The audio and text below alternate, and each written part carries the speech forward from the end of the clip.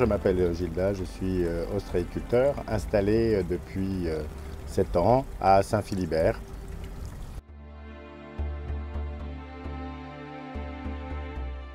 En termes d'élevage, on va pratiquer l'élevage sur estran, hein, c'est-à-dire que c'est un élevage sur poche et sur table ostréicole que l'on va déposer ou venir récupérer à marée basse, ce qui crée évidemment un certain nombre de contraintes, à la fois en termes de météo, de coefficient de marée, de direction des vents, de pression atmosphérique.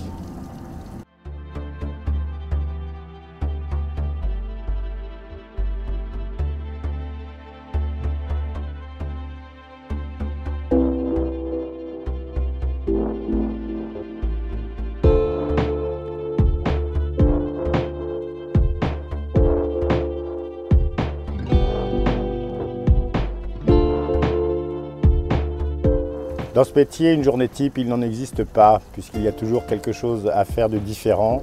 Il y a toujours un souci technique à régler. Hein, et l'activité est fortement marquée par euh, euh, les marées, par les moments où on va aller sur les parcs, que ce soit pour récolter des huîtres ou que ce soit pour en déposer pour qu'elles continuent euh, à grandir et assurer leur croissance. Euh, on a différentes zones de parc, hein, ce qui permet d'assurer une production euh, euh, sur, différents espaces avec une qualité d'eau différente, à la fois dans le golfe du Morbihan, également au chantier et également un petit peu en baie de, en Quiberon.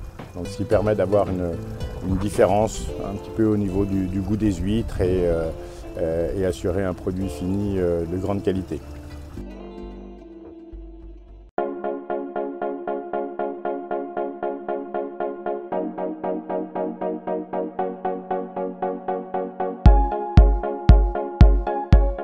Les manipulations, en fait, euh, ça va être à partir du moment où il va y avoir la reproduction naturelle, hein, qui va se situer euh, aux, environs du mois d'août.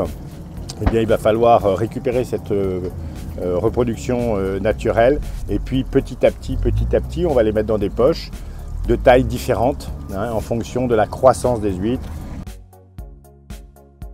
alors on dit, je ne suis pas un statisticien, mais on dit qu'une huître va être manipulée une centaine de fois avant d'être euh, dégustée, euh, quelle que soit la personne qui va la déguster.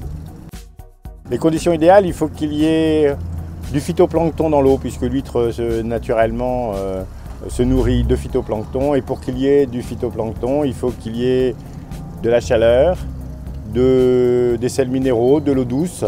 Donc il faut qu'il y ait un petit peu de pluie, et donc c'est principalement euh, au printemps que les huîtres vont grandir, hein, puisqu'il y a une activité euh, phytoplanctonique importante dans l'eau qui va leur permettre de bien manger.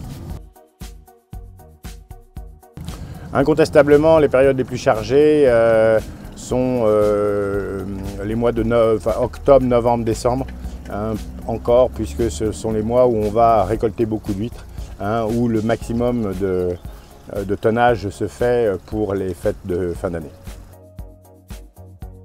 Le plaisir que l'on y trouve, c'est le plaisir d'être dans la nature hein, et le plaisir surtout d'être de la satisfaction d'un produit de qualité. Hein, ça peut m'arriver de me dire là, je ne suis pas très content euh, de ce qu'on a sorti et donc on va remettre à l'eau, on va continuer à travailler les, produits.